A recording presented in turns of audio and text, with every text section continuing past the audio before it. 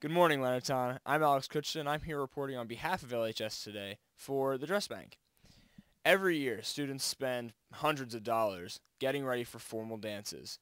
They do things like getting their hair done, their nails done, ladies at you, renting tuxes, buying dresses. It gets expensive. It gets really, really pricey, and a lot of students can't afford to spend that much money. That's where the Leonardtown High School Dress Bank comes in. For homecoming, I usually spend about $100. That covers dress, tickets, dinner, everything.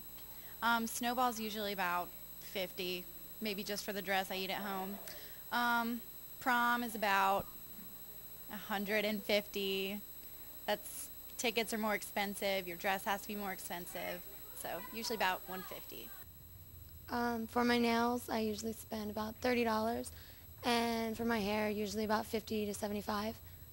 For dinner, probably about $85 if we go out somewhere expensive to like Asahi, but if it's just somewhere like Applebee's, which is always yummy, it's like, I don't know, $40. No big deal. On average, I probably spend just enough money to buy my dress, maybe like 100, 150, because I work at a hair salon and they do my hair and my makeup.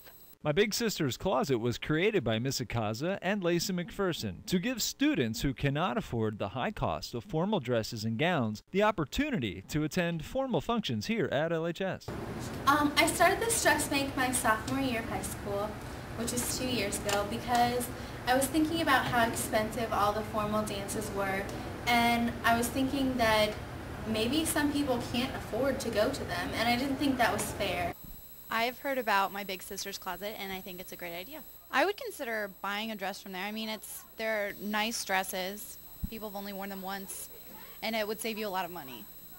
We've had literally at least 150 donations. Um, we've had several girls borrow the dresses from us and they looked absolutely beautiful. Our dresses are in great condition.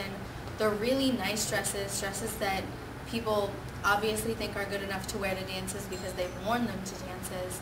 Um, we have some really nice, we have like Jessica McClintock, we have J.C. Penney dresses, we have dresses that still have tags on them. We have some really great dresses. If a student was interested in borrowing or purchasing a dress, they can come talk to me. I'm in room FO7. They could talk to Lacey McPherson. She's also um, has made this possible with the dress bank. But also students, if they would like to be a little more private and talk with um, counselors, that sort of thing, they can go to any of their counselors and the counselors have full access to the dress bank and um, also can put them in touch with me. My Big Sister's Closet is a great way to give students who wouldn't normally have the opportunity to get out of the house and do something, you know, to go out and to go to a formal dance, and all without putting a great big strain on your wallet, which I know that no teenager really needs. So, keep it in mind, consider it. It's a good way to go. I'm Alex Kutchta. Back to you guys in the studio.